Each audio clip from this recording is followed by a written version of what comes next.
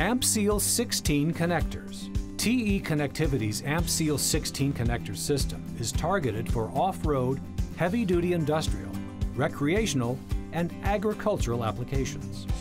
This wire-to-wire and wire-to-device connector line was designed to meet the rigorous demands of industries that require the highest standards in performance.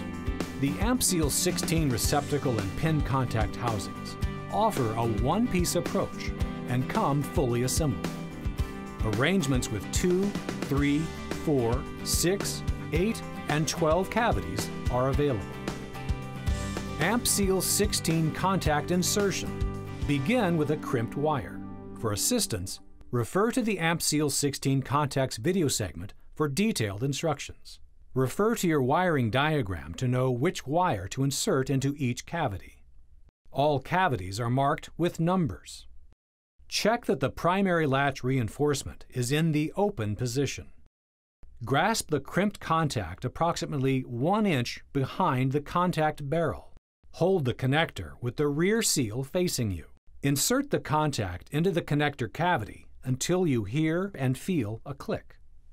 A slight tug will verify the contact is locked in place. Repeat this process until all of the cavities are filled. Please note that if you have open cavities, they will need to be filled with appropriately sized sealing plugs. After all the contacts have been inserted, close the primary latch reinforcement by pushing it into the fully locked position. Repeat this process for both connector halves. AmpSeal 16 connector mating. All AmpSeal 16 connectors are designed to be mated and unmated by hand. When mating AmpSeal 16 connectors, grasp the receptacle contact housing by the body and align it with the pin contact housing. Push the receptacle contact housing and pin contact housing together until you hear and feel a click. Push the connector position assurance into the locked position until you hear and feel a click. AmpSeal 16 connector unmating. Push the connector position assurance to the unlocked position. Depress the locking latch on the outside of the receptacle contact housing and pull it apart from the pin contact housing. AmpSeal 16 contact removal.